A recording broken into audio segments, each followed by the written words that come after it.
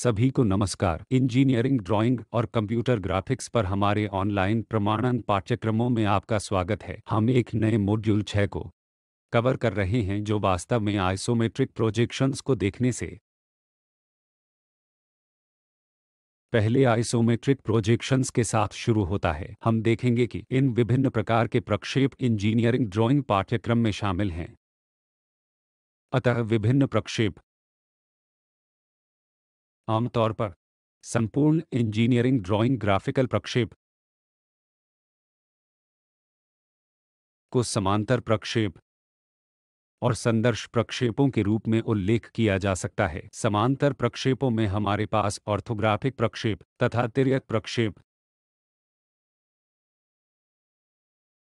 Orthographic प्रक्षेप में हैं विशेष रूप से लंबवत प्रकार के निर्देशांक तंत्र में हमारे पास बहुविचार और एक सोनोमेट्रिक प्रकार के प्रक्षेप हैं। इसलिए बहुविचारों में हमारे पास पहले कोण के अनुमान हैं, इसलिए अलग अलग दृश्य, शीर्ष दृश्य, साइड व्यू, सामने का दृश्य, इस तरह की चीज़ें हम देखेंगे। और तीसरे एंगल प्रोजेक्शन भी शायद आमतौर पर सिविल इंजीनियर और आर्किटेक्चर के लोग योजना और उन्नयन प्रकार की तकनीकों का उपयोग करते हैं। ये तीन आयामी वस्तु पर आने एक वाले विचार हैं। एक्सोनोमेट्रिक प्रोजेक्शंस में ये ऑर्थोग्राफिक हैं। हमारे पास आइसोमेट्रिक प्रोजेक्शंस, डायमेट्रिक प्रोजेक्शंस और ट्राइमेट्रिक प्रोजेक्शंस हैं। बाद में हम इन आइसोमेट्रिक, डायमेट्रिक, ट्राइमेट्रिक प्रोजेक्शंस के बारे में अधिक जानेंगे। इसी प्रकार यदि यह तिरछी तरह के प्रक्षेप है तो हमारे पास cabinet kind cavalier kind, military kind हैं तो भी हमारे पास दृष्टिकोण हैं। इसी प्रकार परिप्रेक्ष्य में ये बिंदु पर आधारित हैं। हम एक निश्चित बिंदु पर विचार करते हैं और हम किस प्रकार के विचार देखेंगे कि हमारे पास एक बिंदु प्रक्षेप, वास्तविक बिंदु प्रक्षेप हैं जैसे बिंदु यहाँ से। अगर हम विचारों की कल्पना कर रहे हैं कि यह कैसा दिखता है और तीन बिंदु प्रोजेक्शंस और वक्रतापूर्ण प्रकार के प्रोजेक्शंस हमारे पास हैं और विशेष रूप से अगले दो खंडों में हम आइसोमेट्रिक प्रोजेक्शंस को मुख्यतः पर देखेंगे ये एक्सोनोमेट्रिक प्रक्षेपों में आते हैं। अतः इन विभिन्न प्रक्षेपों के अंतर्गत हमने एक सोनोमेट्रिक प्रक्षेप को देखा है। यह एक पैरेलल प्रोजेक्शन टेक्निक है, जिसका उपयोग किसी वस्तु को प्रक्षेप अथवा चित्र प्लेन के सापेक्ष किसी वस्तु को अक्ष पर घुमाकर चित्रमय ड्राइंग बनाने के लिए किया जाता है। इसलिए हमारे पास ऐसी वस्तु है, जिसे हमें इस प्रकार घुमाना है कि हमारे पास विभिन्न प्रकार के दृश्य तथा इसके पैरेलल प्रोजेक्शन टेक्निक होंगी, इसलिए जो भी हम देखते हैं वे केवल वही चीज़ें हैं जिन्हें हम दिखाते हैं। इसमें तीन वैरायटी हैं। आइसोमेट्रिक, डायमेट्रिक तथा ट्राइमेट्रिक प्रोजेक्शंस। विशेष रूप से आइसोमेट्रिक प्रोजेक्शंस हैं। इनमें से एक लाइन इन साइड्स पर 30 डिग्री कोण बनाती है। हम इस कोण को डायमेट्रिक में अधिक देखेंगे कि यह कोण 30 डिग्री से कम है, जिसे हम एक और 15 डिग्री कहते हैं।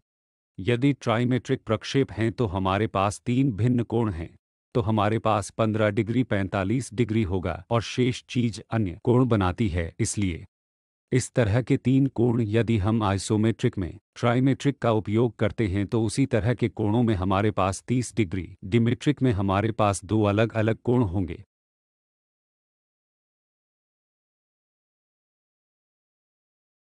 अब, हम इस आइसोमेट्रिक प्रोजेक्शन के बारे में विस्तार से पढ़ेंगे। आइसोमेट्रिक का अर्थ है, बराबर मापों, यहाँ मापों कोणों के बारे में हम यह प्राप्त करेंगे और यह समांतर प्रक्षेप का एक प्रकार है। समानांतर के लिए दूसरा शब्द एक्सोनोमेट्रिक है, जहाँ एक्स और जेड अक्ष क्षैतिज प्लेन में 30 डिग्री के कोण पर इंक्लाइंड है, जिसका अर्थ है कि अगर मैं एक वस्तु ले रहा हूँ, उदाहरण के लिए यहाँ क्यूबॉइड यह कोण 30 डिग्री है। इसी तरह यह कोण 30 डिग्री है। एक सोनोमेट्रिक अक्ष के बीच का कोण 120 डिग्री के बराबर है। इसलिए अब हमारे पास किनारों के किनारों की क्यूबॉइड रेखाएँ हैं। अतः आए हम एक किनारे को बी को कहते हैं। इस प्रकार के कोण ए तथा किनारा बी के बीच का कोण सदैव 120 डिग्री होगा। यद्यपि वास्तविक वस्तु एक दूसरे के लिए 90 डिग्री कोण ऑर्थोगोनल है, परंतु जब हम दो डायमेंशनल प्लेन पर आइसोमेट्रिक प्रोजेक्शन दर्शाते हैं, किनारे एक्सिस, आइसोमेट्रिक एक्सिस, वे सभी साइड पर 120 डिग्री समान रूप से बनाता है। यह पहली बात है, हम क्या सीखेंगे तो? अगर मैं एक ड्राइंग यहाँ बना रहा हूँ, कोई भी वस्तु ऑब्जेक्ट डायमेंशन जो यहाँ 30 डिग्री बनाने के लिए आवश्यक है। इसी तरह यह 30 डिग्री बनाता है।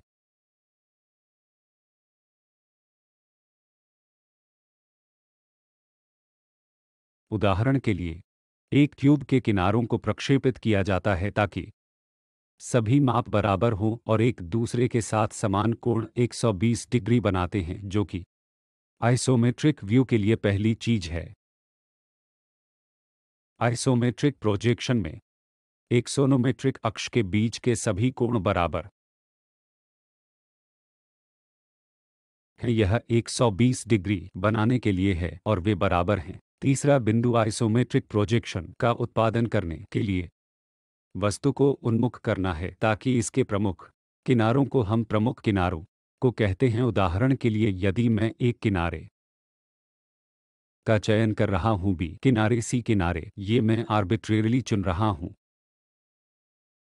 एक बार जब हम यह निर्णय करें कि ये मुख्य किनारे हैं तो उन्हें प्रोजेक्शन के प्लेन से बराबर कोण बनाना चाहिए। इसलिए हमें उस वस्तु को इस प्रकार घुमाना होगा कि जब मैं उस वस्तु की कल्पना करता हूँ तो इन किनारों को 120 डिग्री बनाना होगा।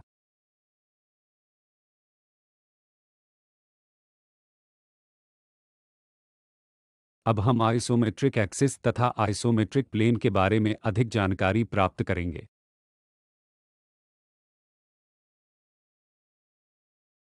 क्यूब के आइसोमेट्रिक प्रोजेक्शन में कोण या तो 120 डिग्री या 60 डिग्री हैं हम। और को परिभाषित करते हैं, सभी 90 डिग्री कोणों के प्रक्षेप हैं। इसलिए हम एक क्यूबॉइड लेंगे। उदाहरण के लिए हम एक क्यूबॉइड जहाँ किनारों 90 डिग्री है, हम इस प्रकार अभिमुखी हैं कि इन किनारों के बीच कोण 120 डिग्री।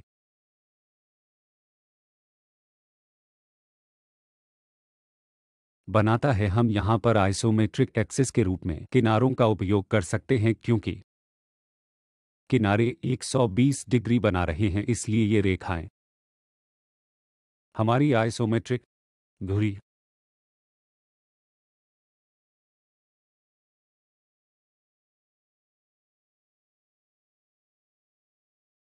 हैं, एक, दो, तीन, यदि आप इसे देख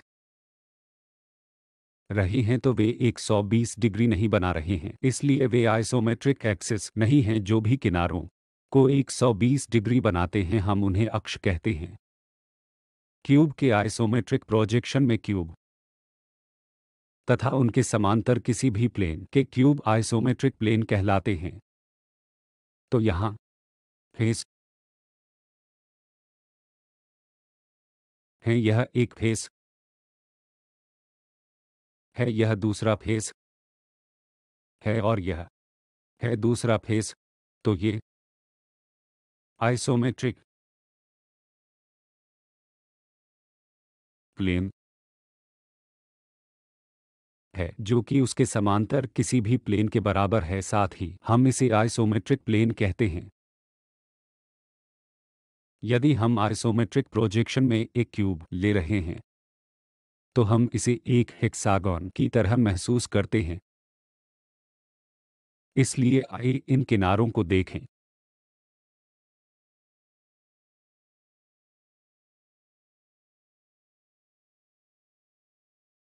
ये मानक कन्वेंशन है जब कोई सुरक्षा चीज़ के लिए ड्राइंग शीट की आपूर्ति करता है।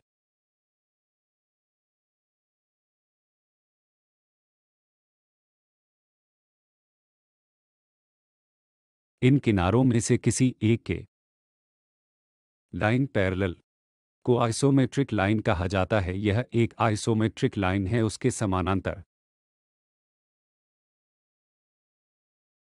कोई भी लाइन आइसोमेट्रिक लाइंस भी है। अगर हम इस आइसोमेट्रिक एक्सिस के समानांतर एक रेखा नहीं ड्राइंग कर रहे हैं तो हम नॉन आइसोमेट्रिक लाइंस कहते हैं। उदाहरण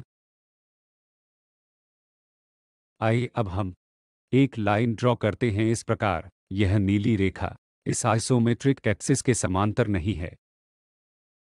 इस प्रकार की रेखाएँ जिन्हें हम नॉन आइसोमेट्रिक लाइंस कहते हैं। तो बाद में हम देखेंगे कि ट्रू लाइंस शायद। आइसोमेट्रिक रेखाओं पर होती हैं जब आप कोणों को माप रहे होते हैं। जब आप रेखाओं को माप रहे होते हैं तो। किसी को इसे आइसोमेट्रिक एक्सिस के संदर्भ में गिनना होता है। हमें नॉन आइसोमेट्रिक लाइंस पर कोई लेंथ नहीं लेनी चाहिए। हम उन बिंदुओं को दर्शाते हैं जो उन दूरी को मापते हैं, फिर दूरी को आइसोमेट्रिक के रूप में बदलते हैं, फिर हम ट्रू लाइंस में परिवर्तित हो जाएँगे। इसलिए पहला कदम, जब आप इन आइसोमेट्रिक प्लेन्स पर काम कर रहे हैं तो आइसोमेट्रिक अक्ष और रेखाएँ किसी भी जानकारी को हमें इस आइसोमेट्रिक एक्सिस से प्राप्त करने के लिए केवल जानकारी है, जिसे आगे संशोधित किया जाना है।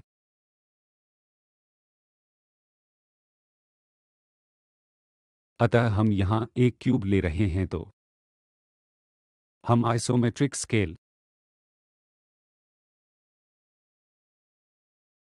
का उपयोग करते हैं, इसे आइसोमेट्रिक लेंथ से वास्तविक लंबाई के रूप में परिभाषित किया जाता है, अतः क्यूबॉइड की इकाई डायमेंशंस वास्तव में हो सकती हैं जब हम इसे एक कागज़ पर आइसोमेट्रिक प्रोजेक्शन के परिप्रेक्ष्य में निरूपित कर रहे हैं, वस्तु का आकार हो सकता है, वन यूनिट लेंथ नहीं हो सकता है। यह सामान्य रूप से बिंदु पर परिवर्तित होता है। ट्रू लेंथ का टू टाइम्स हम यह कैलकुलेशन देखेंगे। उदाहरण के लिए, यदि हमारे पास एक वास्तविक स्केल है जो लेंथ हम एक प्रक्षेपण के रूप में प्रस्तुत करना चाहते हैं तो एक डायमेंशन प्रोजेक्शन यदि मैं वास्तव में इसे दिखाना चाहता हूँ तो यह स्केल 45 डिग्री के कोण पर है। और जब हम इन को आइसोमेट्रिक में प्रक्षेपित कर रहे हैं, उदाहरण के लिए इस लेंथ हम इसे 30 डिग्री बाद पर प्रोजेक्ट करने के लिए जा रहे हैं। यह लंबाई है। क्या हम इसे ग्राफ शीट पर दिखा रहे हैं? इसलिए ड्राइंग शीट पर हम हमेशा एक्स निर्देशांक वाई निर्देशांक प्रकार की जानकारी के संदर्भ में मापते हैं। उदाहरण के लिए कि एक्स जानकारी यदि मैं इसे माप रहा हूँ तो ड्राइंग शीट पर वह बिंदु क्या हो सकता है? यह एक्स इस संदर्भ में हो सकता है कि मैं इसे लिख सकता हूँ। कॉस तीस एक्स के बराबर है। हालाँकि वास्तविक रेखा 45 डिग्री लेंथ 45 डिग्री इंक्लिनेशन पर है। तो उस स्थिति में हम उस रेखा वी को 45 डिग्री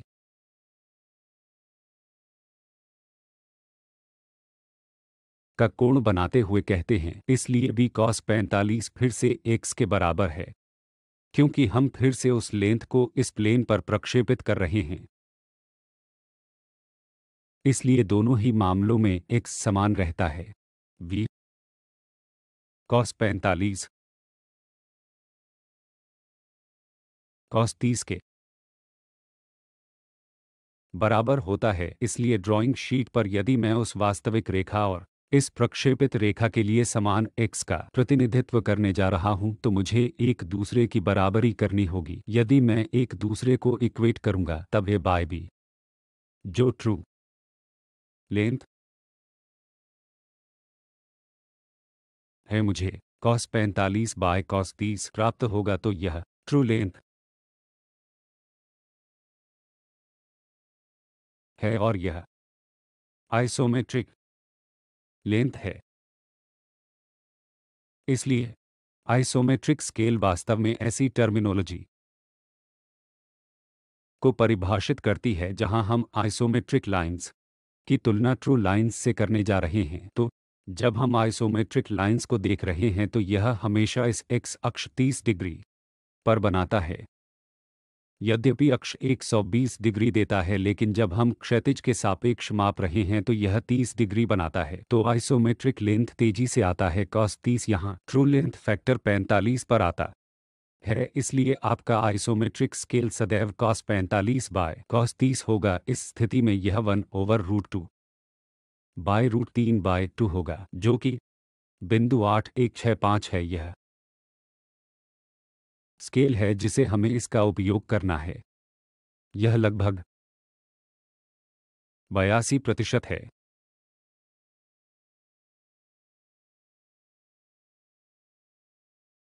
तो कोई भी आइसोमेट्रिक लेंथ जो भी हम दर्शाने जाने जा रहे हैं, वह आपकी वास्तविक लंबाई का आठ दो गुना होगा। इसलिए यदि मैं आपको एक ड्राइंग शीट दे रहा हूँ जिस पर आइसोमेट्रिक रेखाएँ हैं जो हम वास्तव में माप रहे हैं तो उस लेंथ का आठ दो गुना होगा।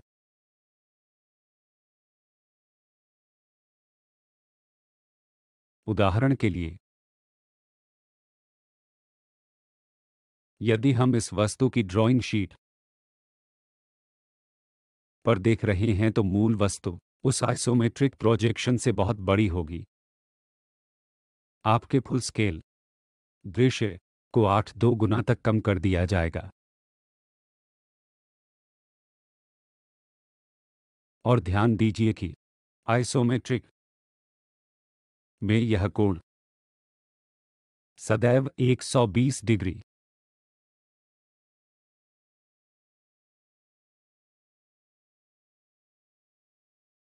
होता है इसी प्रकार परिप्रेक्ष्य में यदि हम की तुलना करें उदाहरण के लिए, इस बिंदु पर यह बिंदु है, आइए हम लेंथ कॉल करें एच और इस बिंदु के लिए इस बिंदु हम डब्ल्यू कहते हैं। और यदि H by W one root three के बराबर है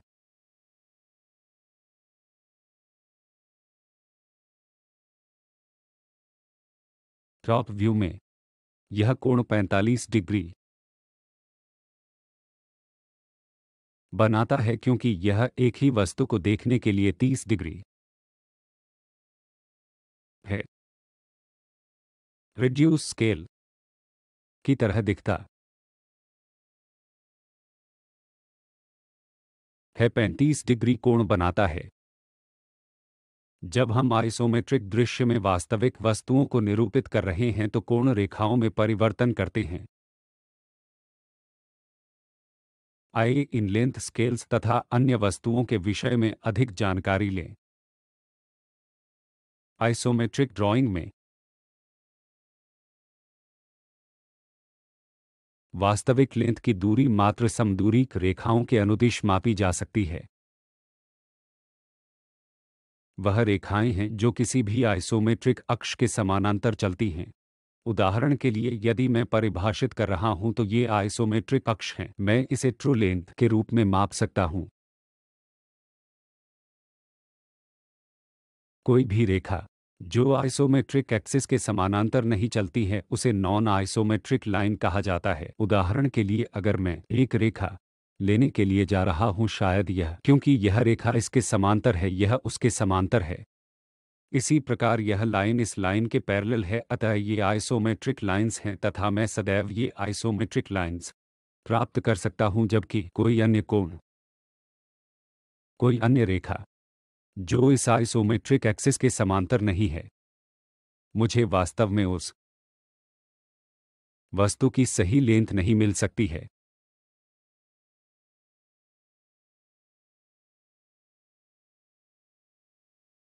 नॉन आइसोमेट्रिक लाइंस में इंक्लाइंड और तिरछी रेखाएँ शामिल हैं।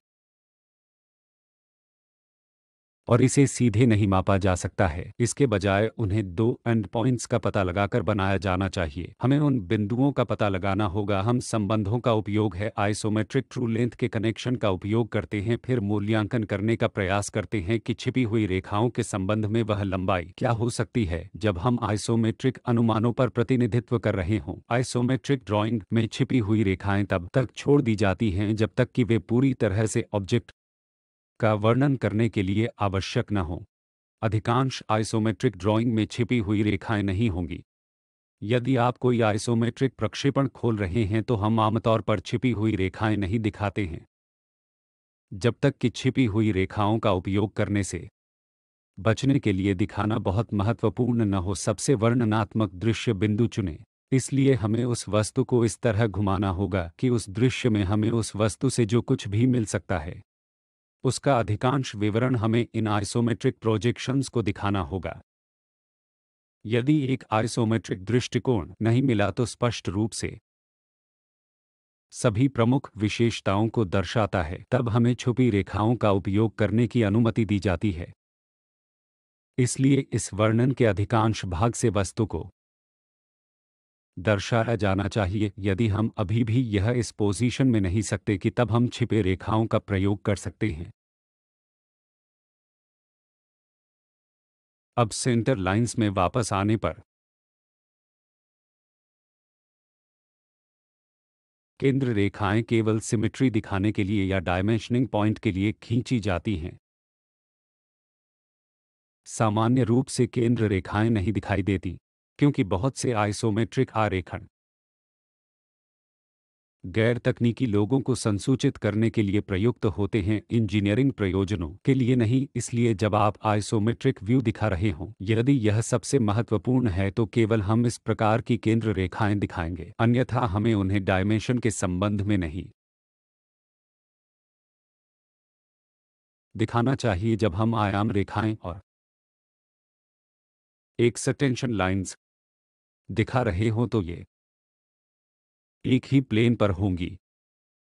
इसलिए जो भी आयाम हम एक्सटेंशन लाइंस दिखाएँगे, हम दिखाएँगे कि वे एक ही प्लेन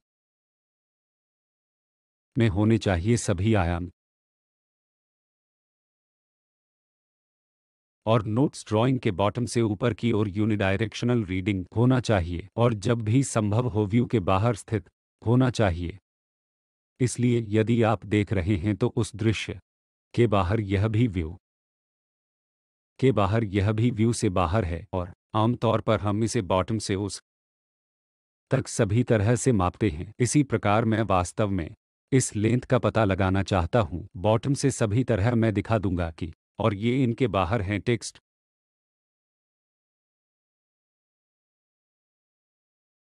बॉटम से क्षैतिज दिशा निर्देशों का उपयोग करके पढ़ा जाता है। इस दिशा के क्षैतिज दिशा निर्देशों के संबंध में हमें यह देखना होगा कि क्षैतिज के लाइन पैरेलल हम इस पोजीशन में होंगे कि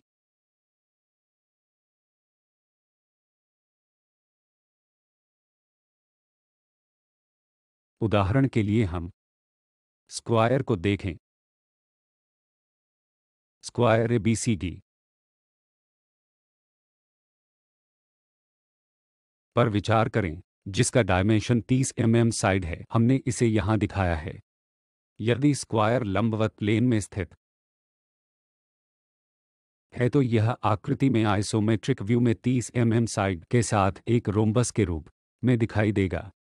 यह इस तरह दिखता है, यदि स्क्वायर आइसोमेट्रिक प्रक्षेपों में ऊर्ध्वाधर प्लेन पर स्थित है तो हमें इस तरह से रोटेट करना होगा कि हम इस कोण को जो कुछ भी बना रहे हैं उसे 30 डिग्री की चीज़ के रूप में देखेंगे।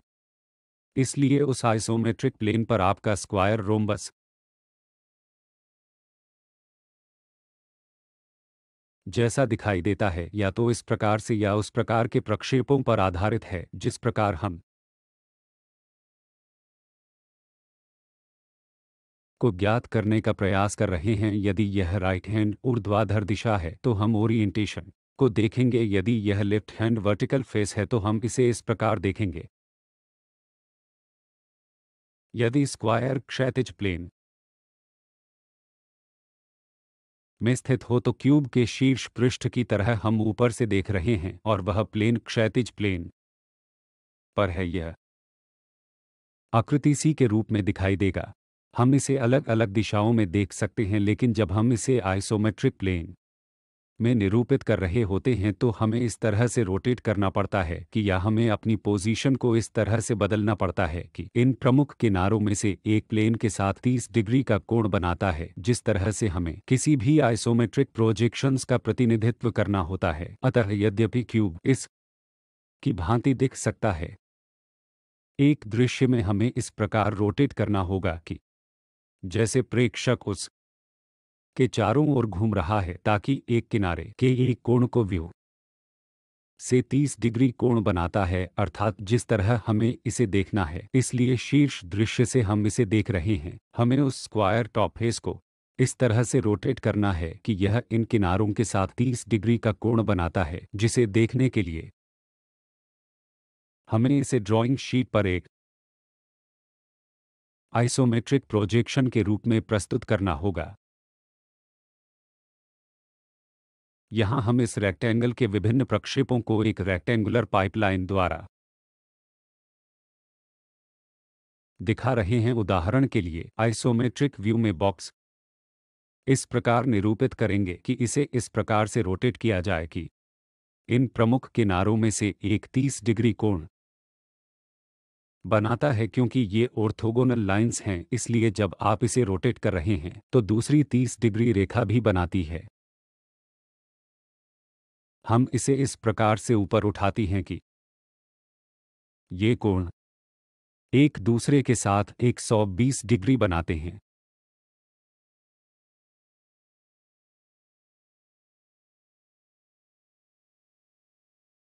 यदि आप इसे और ऊपर उठाते हैं तो आपके पास अन्य एक सोनोमेट्रिक प्रकार के व्यूज़ होंगे। आपके पास 45 डिग्री 45 डिग्री 60 डिग्री 30 डिग्री हो सकते हैं। इस तरह की डिग्री इस पर आधारित हैं कि हम इसे कैसे विजुअलाइज करते हैं। आपके पास भिन्न भिन्न प्रकार के व्यूज़ होंगे, लेकिन एक आइसोमेट्रिक की मानक प्रक्रिया यह है कि आपको केवल 30 डिग्री का उपयोग करने की अनुमति है। आइए हम यहाँ एक स्लॉट वाली कोई अन्य वस्तु लें और इसमें आइसोमेट्रिक व्यू में एक छेद भी है। एक बार जब हम इन प्रमुख किनारों को परिभाषित करते हैं तो इनमें से एक प्रमुख किनारा क्षैतिज के साथ 30 डिग्री बनाता है। अब आइए अन्य व्यूज़ को देखें।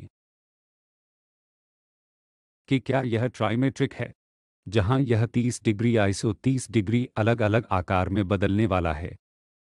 यह 30 डिग्री अलग नहीं हो सकता है।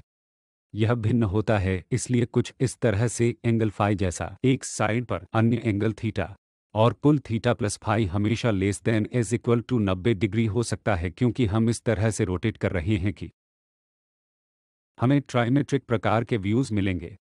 इसलिए अगर मैं थीटा और फाई अलग मिल रहे हैं और उनका समेशन नब्बे डिग्री से कम है, हमारे पास ट्राइमेट्रिक व्यू है, इसलिए समान आइसोमेट्रिक ऑब्जेक्ट है जो हमारे पास है। हमें यह अलग अलग प्लेन में प्राप्त होगा, इसलिए हमारे पास अलग अलग व्यूज़ होंगे। अब हम डामेट्रिक व्यू को डामेट्रिक व्यू में देखते हैं। हमारे पास दोनों तरफ़ थीटा एंगल है और यह थीटा एंगल शून्य से 45 डिग्री के बीच बदलता है और यह 30 डिग्री नहीं है। तो हमारे पास हमेशा यह ऑब्जेक्ट है। उदाहरण के लिए हमारे पास यह ऑब्जेक्ट है हमें। इस ऑब्जेक्ट को इस प्रकार रोटेट करना होगा कि हमें डायमेट्रिक में भिन्न भिन्न व्यूज़ दिखे। इन किनारों में से एक हमेशा एक ही कोण पर शून्य से 45 डिग्री के बीच का कोण बनाता है। इसे दूसरी तरफ़ देखना पड़ता है।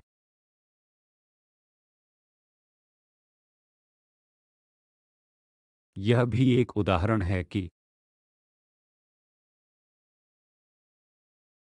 हमारे पास आइसोमेट्रिक व्यू के लिए एक ऑब्जेक्ट है।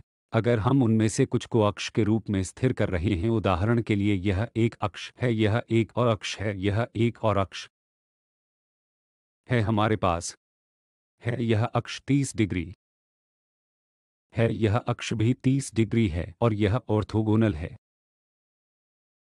डायमेट्रिक के मामले में हम इस अक्ष है जो समांतर है। हमारे पास एक और अक्ष है कि भी समांतर है। ये एक ही कोण है लेकिन 30 डिग्री नहीं है।